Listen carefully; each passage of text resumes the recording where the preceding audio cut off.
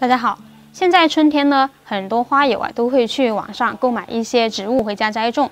那么最受欢迎的应该就是多肉这种植物了。那么我们买回来多肉应该如何正确的给它处理，然后呢才能给它上盆呢？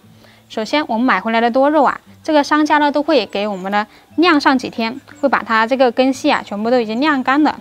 那我们拿回来之后啊，不能够直接给它栽种，我们一定要做好一个步骤。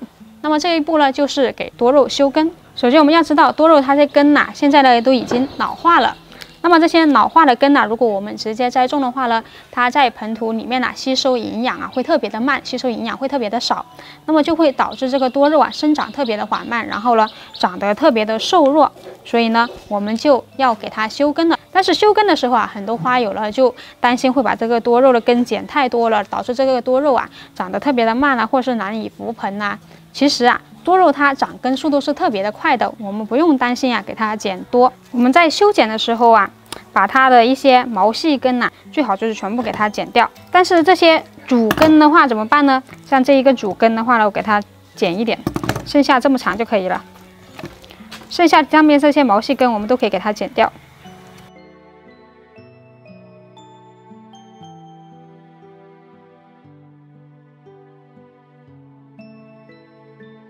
这样就基本上剪完了，现在剪的只剩一点点根了。然后我们会看到这上面会有非常多的这个已经干瘪的叶子，我们要把它摘掉。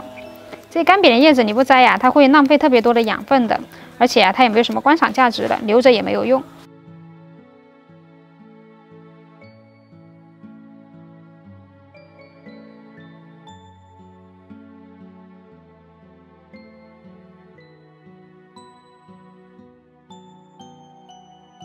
这样修过根呢，然后老叶片、干瘪的叶片也摘掉了，然后呢，我们会看到现在我们这个多肉啊已经长了花了。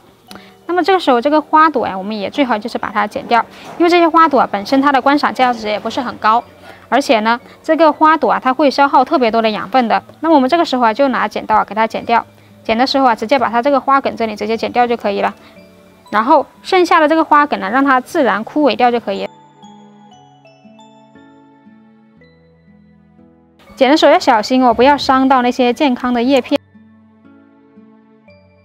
然后看到现在这里面啊也长了一朵花哦，可以轻轻用手给它拧掉也可以，这样就可以了。那么我们处理好之后啊，这个根系呢，因为它有伤口，所以呢我们要给它做一个消毒杀菌处理，可以配置好百分之零点一的这个多菌灵溶液。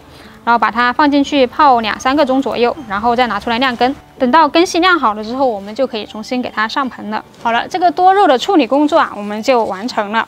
如果大家呀现在已经买了多肉回家了，就可以按照我这种方法尝试一下。好了，今天就介绍到这里，我们下期再见。